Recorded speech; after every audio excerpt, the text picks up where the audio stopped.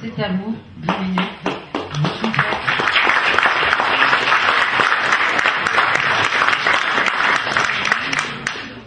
Bonjour, je suis content de faire partie de cette réunion en tant que président fondateur de l'Union populaire républicaine que j'ai créée le 25 mars 2007 à l'occasion du 50e anniversaire jour pour jour du traité de Rome du 25 mars 1957. C'est une date à laquelle je tiens, puisque si j'ai créé ce mouvement politique avec d'ailleurs bien des vicissitudes, puisque tout le monde m'a mis des bâtons dans les roues, je n'avais le soutien de personne, j'ai invité 87 journalistes à venir, et zéro euh, sont venus. si j'ai créé ce mouvement, ce, ce 25 mars 2007, c'était pour une raison très simple, c'était pour sortir la France de l'Union européenne, de l'euro et de l'OTAN. Et si je l'ai fait, après un parcours que la plupart d'entre vous peut-être euh, connaissent, puisqu'on me qualifie volontiers d'homme de droite, c'est parce qu'après avoir été dans des cabinets ministériels de droite, après avoir regardé la scène politique française, j'ai découvert que de l'extrême droite à l'extrême gauche, en passant par l'extrême centre, il n'y avait pas en France de partis politiques qui proposaient peut-être, à la seule exception du PRCF, je le reconnais, euh, il n'y avait pas de partis politiques qui disaient les choses comme elles sont et qui présentaient les choses comme elles devraient être. C'est quoi les choses comme elles sont? Ben, La première, c'est ce qu'a dit François Mitterrand dans ses derniers jours de vie, après avoir passé 14 ans à l'Élysée. Il a expliqué à Georges-Marc Benamou, la France est en guerre et les Français ne le savent pas. Ils sont voraces, les Américains. Ils veulent un pouvoir sans partage sur le monde. C'est une guerre inconnue, une guerre sans mort apparemment et pourtant une guerre à mort. Alors la première des choses que nous devrions nous poser comme question collective, c'est de savoir de quoi nous parlons. Quelqu'un qui a été chef de l'État, pendant 14 ans, qui a eu la dissuasion nucléaire entre ses mains, qui, au soir de sa vie, au moment où il n'a plus rien à perdre, lâche le morceau, c'est-à-dire que nous avons affaire à une guerre qui nous est déclarée par la première puissance mondiale, dont le budget militaire représente à soi seul 50% du budget militaire mondial, c'est-à-dire que les États-Unis dépensent à eux seuls autant d'argent pour s'armer que l'ensemble des 192 autres pays membres des Nations Unies, eh bien c'est qu'il y a du souci à se faire. Et quelle est cette arme avec laquelle ils sont en train de détruire notre pays avec des guerres du troisième millénaire Une guerre du troisième millénaire qui se passe par, non plus par des bombardements, ça c'est réservé au pourtour des empires, c'est réservé à la Syrie, à l'Irak, à l'Afghanistan, à la Libye. Non, les guerres entre pays développés se font désormais par des guerres du troisième millénaire où l'on agit par les médias, qui sont les armes dans cet univers, et les cibles, eh bien, ce sont vos cerveaux. Il s'agit de changer le logiciel que nous avons dans la tête. Il s'agit de faire des Français des anglo-saxons. Il s'agit de faire des Grecs des anglo-saxons. Il s'agit que nous perdions jusqu'à nos propres repères. Je présentais dans une conférence hier à Marseille l'évolution invraisemblable, quand on y réfléchit, quand on la regarde minutieusement, des timbres français ou des plaques d'immatriculation française où tout est fait pour que progressivement on retire de la tête des Français qu'ils sont des Français. Alors face à ça, eh bien, il faut réfléchir à quel a été le modus operandi. À partir du moment où, suite aux conférences de Téhéran, de Yalta et de Potsdam, Staline, d'un côté, Roosevelt de l'autre, se sont partagés l'Europe, eh bien, les Américains sont arrivés à pas de loup. Ils n'ont pas fait dans la, Staline ne faisait pas lui dans la dentelle, il imposait des dictatures dans le camp qui lui avait été échu brutalement. Les États-Unis ont agi autrement. En 1949, ils ont créé l'OTAN, qui est la façade militaire d'une domination coloniale qui s'est imposée sur l'Europe occidentale. Et à partir de 1950, par leur agent traitant, Jean Monnet, et par Robert Schuman, qui était, on le sait maintenant, financé par la Suisse, ils ont imposé une construction européenne, mais c'est un jeu sur les mots. Ça n'est pas une construction européenne. Il faut se sortir ça de la tête. Il s'agit d'une colonisation américaine. Je le dis d'autant plus que j'ai un fils, figurez-vous, qui a 14 ans. Et l'année dernière, je suis allé à la réunion des parents d'élèves. Et le professeur disait, l'année prochaine, vos enfants, disait-il aux parents, pourront suivre une classe européenne s'ils le souhaitent. Alors j'ai levé la main et j'ai dit, mais c'est quoi, madame, une classe européenne? Et elle m'a répondu, ben, c'est une classe où tous les enseignements sont donnés en américain.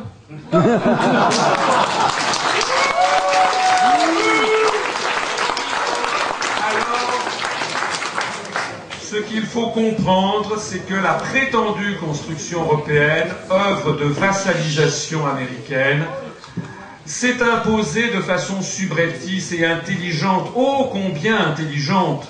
Les Américains ne pouvaient pas imposer des régimes à leur botte dans la partie occidentale du continent qui était connue pour sa démocratie, et où de surcroît il y avait notamment dans les pays de, de tradition catholique romaine de forts partis communistes, le Parti communiste français qui a atteint 27% des voix, le Parti communiste italien. Donc dans ces conditions, on ne pouvait pas aller facilement. Et il fallait donc avoir des pères porteurs, des marionnettes, comme on a actuellement des marionnettes en Afghanistan, par exemple, ou comme on en a en Irak, il fallait avoir des marionnettes qui s'appelaient Robert Schuman, Alcide de Gasperi, Konrad Adenauer, Paul-Henri Spaak, qui porterait un projet comme s'il était d'origine européenne, alors qu'en fait il avait été conçu outre-Atlantique, avec une volonté très particulière, qui est la mise en place de ce que j'explique dans une de mes conférences, d'un stratagème qui est, connu dans toutes les écoles de guerre, qui est le stratagème chinois, dit stratagème des chaînes.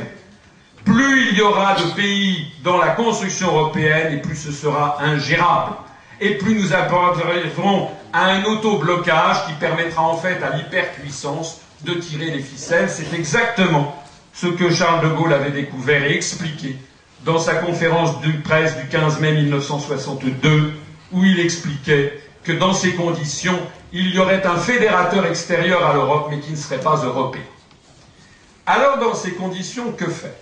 Eh bien, nous, et si j'ai créé l'UPR, et si un grand nombre de personnes, enfin un nombre significatif maintenant d'adhérents nous ont rejoints, c'est parce que nous nommons l'ennemi, comme le conseiller Charles de Gaulle dans son discours du 28 décembre 1940.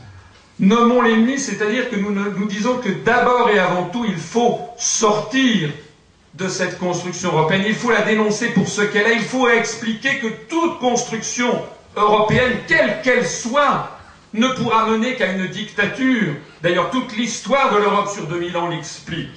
Donc c'est ceci que nous expliquons. Nous expliquons aussi au passage que qu'est-ce qui, pourquoi faudrait-il construire l'Europe au moment où il y a l'Organisation des Nations Unies, au moment où il y a le Conseil de l'Europe qui n'a rien à voir avec l'Union Européenne, au moment où nous sommes en contact avec des pays du monde entier. Pourquoi est-ce que l'on doit construire l'Europe? Parce que maintenant il s'agit d'entrer dans cette théorie voulue par les Américains, qui est celle du choc des civilisations. Avec un empire, je vous renvoie aux écrits de, Samuel Huntington, avec un empire euro-atlantiste, ce que Huntington appelle la civilisation judéo-chrétienne, qui a vocation à s'opposer au reste du monde et avoir une volonté prédatrice sur les ressources, notamment les ressources minérales en hydrocarbures du reste du monde. C'est de ça qu'il s'agit. Il s'agit d'abord d'un sujet éminemment géopolitique et d'un sujet éminemment politique, puisqu'il s'agit en effet de la destruction de notre pays. Alors, c'est la raison pour laquelle nous avons créé un programme qui, se, qui reprend très exactement celui du Conseil national du CNR, dont je suis d'accord avec tout ce qui a pu être dit ici par mes partenaires, en insistant sur deux, trois éléments quand même. La première des choses, c'est que le CNR était un groupement qui regroupait des Français de toutes les origines et de toutes les convictions, y compris des Français de droite, y compris des Français qui étaient favorables à une économie libérale. Dans le CNR, il est question de l'alliance des patrons et des ouvriers. Il est question aussi de la grandeur de la France dans le programme du CNR, qu'il ne faut pas oublier. Et la deuxième chose que je voudrais dire, c'est que tous les gens qui se sont alliés au sein du CNR étaient en désaccord sur plein de choses. Mais ils étaient d'accord sur une chose, il savait qui était l'ennemi. C'est la raison pour laquelle nous, nous sommes prêts à faire alliance avec toutes les personnes ici présentes dans la mesure où nous sommes d'accord sur quelques points fondamentaux. Le premier point, c'est de sortir de l'Union européenne, je crois que nous sommes tous d'accord. Le deuxième point, c'est de sortir de l'euro, nous sommes tous d'accord, il y a un article, l'article 50 du traité sur l'Union européenne qui le permet. Le troisième point, de sortir de l'OTAN, je crois que nous sommes tous d'accord également. Le quatrième point, c'est d'expliquer que nous ne pourrons pas mener à bien ce rassemblement s'il n'y a pas en effet un souci de justice sociale qui nous regroupe tous et qui nous rassemble sur ces grands idéaux qui ne sont pas spécialement finalement de gauche, qui sont ceux sur lesquels se sont regroupés plus de 80% ou 90% de la population française dans cette espèce de France idéale par laquelle nous avons vécu pendant les Trente Glorieuses. Et puis, il y a un cinquième point, c'est la hiérarchie de priorité. Nous devons écarter délibérément tout ce qui nous divise. Nous devons mettre de côté tous les clivages droite-gauche artificiels qui actuellement